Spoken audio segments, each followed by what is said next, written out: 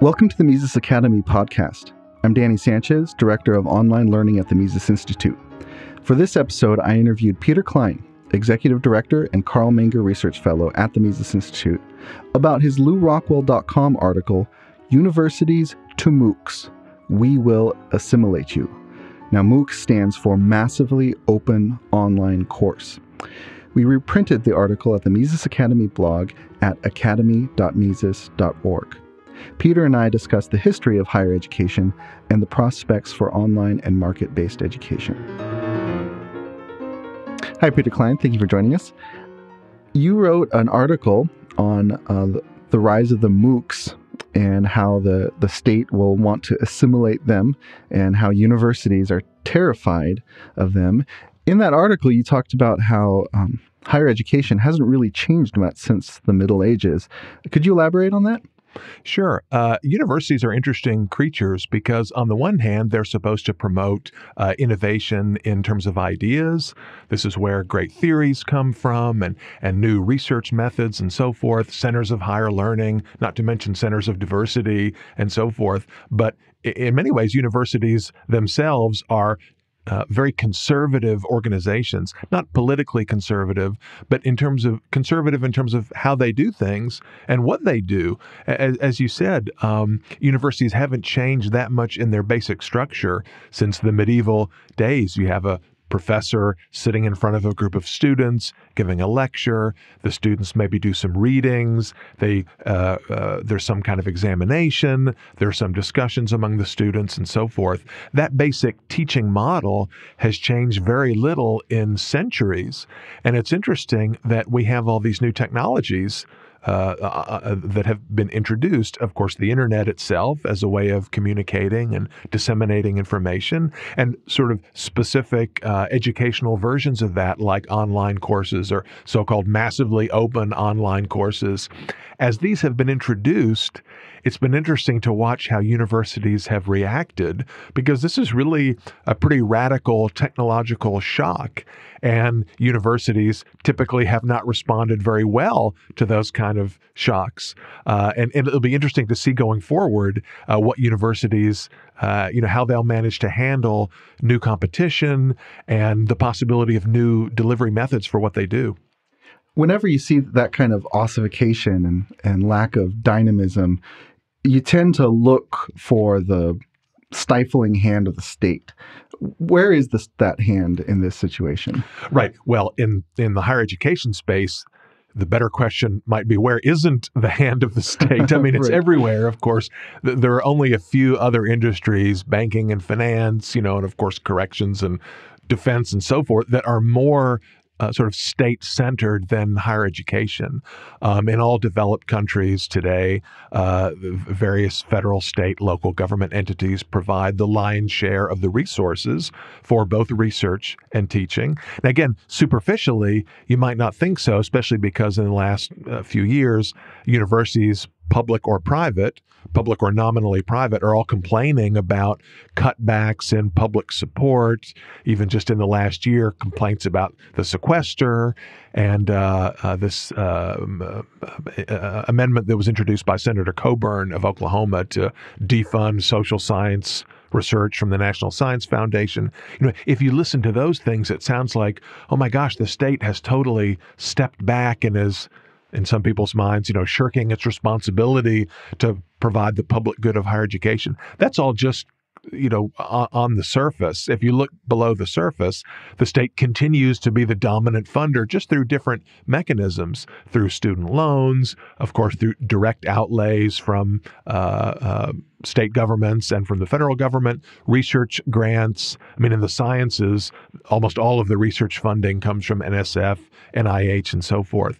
So, in today's climate, the state provides the lion's share of the resources, even for the nominally private universities, MIT, Harvard, Stanford, whatever. They get a larger share of their total budget from government sources than the so-called public universities like Auburn University or University of Wisconsin or whatever. Now, if you go way back, of course, to medieval days, uh, the uh, universities were you know, they, they were directly funded by the monarch. Sometimes they were directly supported by the church, the the the state uh, funded church, uh, and so forth. So um, it's always been considered the prerogative of the state to be in charge of education at a number of levels, including, of course, higher education. Now, Murray Rothbard had an interesting uh, perspective on this it's a little bit different, right? Rothbard talked about uh, the intellectual class more generally having this particular kind of relationship with the state. And I think he was exactly right to point this out that uh, in, in a free society, in a market society without uh, government intervention, there probably wouldn't be that much demand for the services of so called intellectuals. Of course, by intellectuals, I don't mean people with a high IQ. I mean teachers, writers, researchers, scholars more generally. Of course, any advanced society is going to have some demand for scholarly activity in this broad sense, but a lot of so called scholarly activity today is stuff that doesn't have much value. Um, academics, intellectuals, scholars, they want to be paid. They want a nice, easy life where they can think deep thoughts and, and write and argue and so forth and get a paycheck. And you know, in a market based society, that may not be very easy. To use technical economics jargon, the marginal revenue product of that kind of activity may be pretty low, or at least not high enough to satisfy the uh, the scholar's demand for a nice house and a nice car. Um, so academics, scholars, intellectuals have always looked for patronage. Right now, in a free society, they could be, uh, patrons can be wealthy individuals private foundations, uh, any person of means who wishes to support the activity of the scholar, just as with artists. And of course, that's great. That's that's uh, that's something we should condone. That's all for the good. But usually, the supply of intellectuals wanting such patronage vastly exceeds the demand for for their services. So historically, they've turned, of course, to the state for support and for protection. And so Rothbard described this kind of uh, unholy alliance, if you like, where the state provides the resources, the job security, the funding, and so forth for the intellectuals in exchange for a usually implicit, though maybe sometimes explicit, promise that the intellectuals will devote a lot of their energy toward defending the state weaving apologia for the state. Um, uh, and Rothbard talked about the um, intellectual bodyguard of the Hohenzollern, which is what the um, Prussian professors re- referred to themselves as.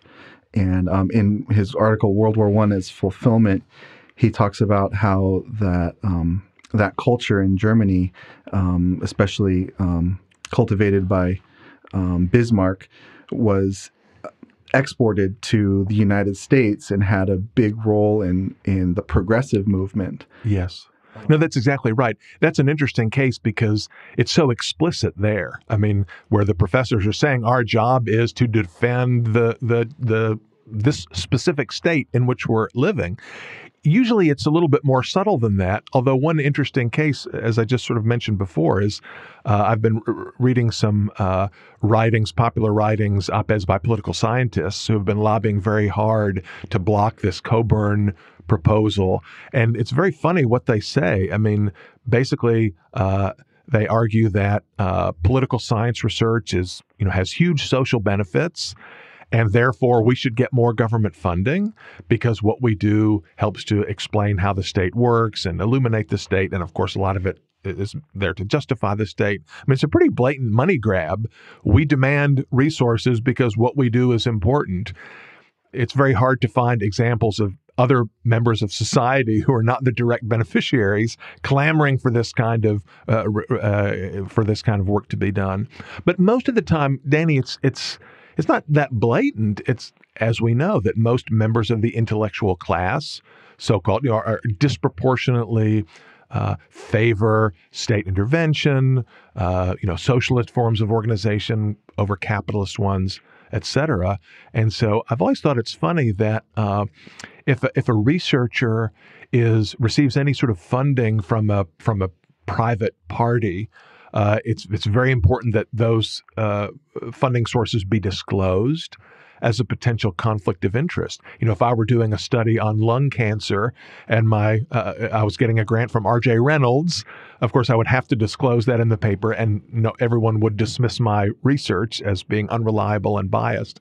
But if I'm a political scientist doing research on, uh, you know, the the benefits of democracy in the developing world, and I'm funded by the National Science Foundation or some other government grant, typically no one would think that's a big deal at all. Of course, you don't have to disclose that because the government is only trying to benefit the public at large.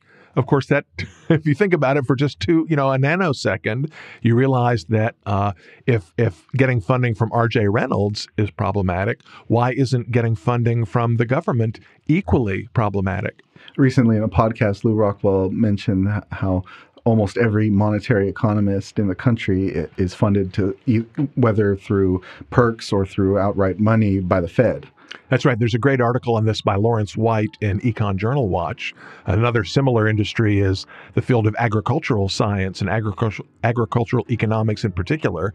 Similar relationship with the U.S. Department of Agriculture that almost all of the research is funded directly or indirectly by the USDA. Not surprisingly, the consensus view seems to be that the USDA is doing a really great job. Thank you for listening to the Mises Academy podcast. To enroll in online courses, to access other episodes of this podcast, or for more information, visit academy.mises.org.